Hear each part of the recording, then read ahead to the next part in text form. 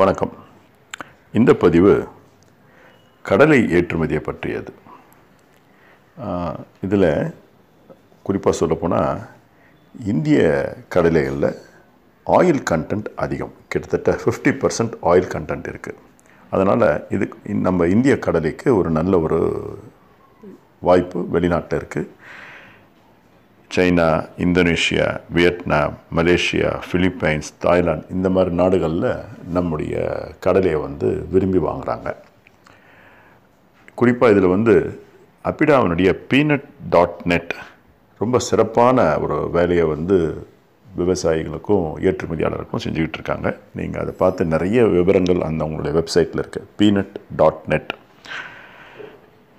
முக்கியமாக இந்த கடந்த டூ தௌசண்ட் நைன்டீன் டுவெண்ட்டிலலாம் வந்து ஐயாயிரத்தி முந்நூற்றி எண்பத்தோரு கோடி five three eight one crores export ஆகிருக்கு இது ஒன்றும் பெரிய அமௌண்ட் இல்லை. ஆனாலும் வந்து ஒரு வளர்ச்சி கடந்த மூணு வருடங்களாக கொஞ்சம் கொஞ்சமாக வளர்ச்சி அடைஞ்சிக்கிட்டு தான் இருக்குது நான் ஏற்கனவே சொல்கிற மாதிரி வெறும் கடலையை எக்ஸ்போர்ட் பண்ணுறதை விட இது எப்படி பிராண்ட் பண்ணி எப்படி மதிப்பு கூட்ட முடியும் அப்படிங்கிறத நாம் பார்க்க வேண்டியது.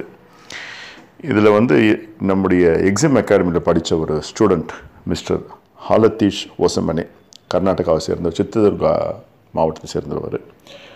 அவர் ரொம்ப சிறப்பான வேலையில் அவங்க குடும்பமே இந்த கடலை வியாபாரத்தில் இருக்கிறவங்க பல தலைமுறைகளாக நல்ல ஒரு பெரிய இடம் எடுத்து சொந்தமான இடம் இருக்குது கடலையை பிரிக்கிறது பேக் பண்ணுறது மதிப்பு கூட்டுறது இந்த வேலையெல்லாம் நிறைய பண்ணி அவரும் நல்ல ஒரு எம்ஐட்ட படித்து நல்ல ஒரு தெளிவான ஒரு இளைஞர்.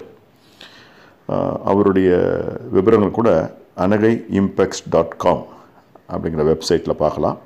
ஃபோன் நம்பர் கூட கொடுக்குறேன். Double nine eight zero four six zero nine double five இந்த இளைஞர் ஒரு நல்ல ஒரு குடும்ப பாரம்பரியத்தை சேர்ந்தவர். அதனால் வியாபாரம் நல்லா பண்ணணும் நல்ல ஒரு குவாலிட்டி கொடுக்கணும் அப்படின்ற ஒரு துடிப்பு அவர்கிட்ட இருக்குது அந்த ஒரு துடிப்பு அவர்கிட்ட பார்த்ததுனால இந்த பதிவை நான் போடுறேன்.